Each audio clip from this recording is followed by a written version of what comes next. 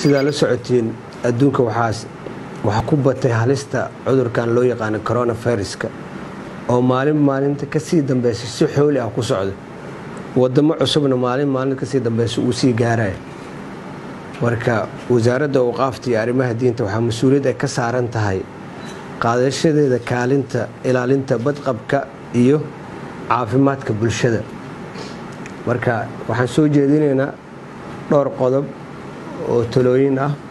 Marka waxaan jeclaan lahaa inaan miidiya intaas la wadaagno. Kow laga bilaabo maalinta berri oo talaado ah soddon iyo kooda bisha saddexaad laba kun iyo labaatan. Waxaan si rasmi ah u fasaxnay dugsiyada barashada qur'aanka kariimka iyo xarumaha barashada diinta. Muddo laba isbuuc ah.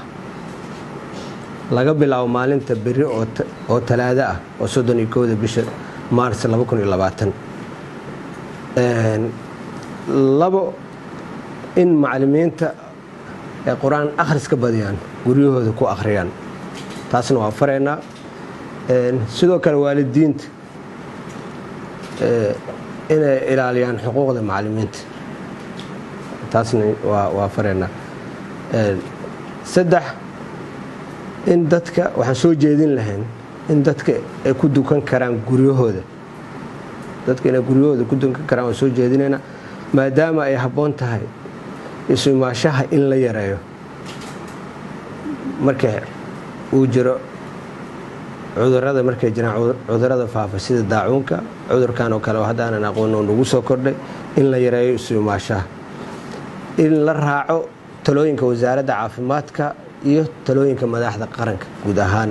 In layska ilaaliyo? Meelaha dadka iskugu imaanayaan aan laiskugu imaanin yacni aayadda qur'aanka waxaa waay yaa ayuha aladiina aamanuu khuduu xidarankum. Feejignaan waay dadka feejignaan ha muujiyaan nin walba yacni gurigiisa nin walba dee dadka inay isku imaadaan in la yareeyo taasaa in laiska ilaaliyo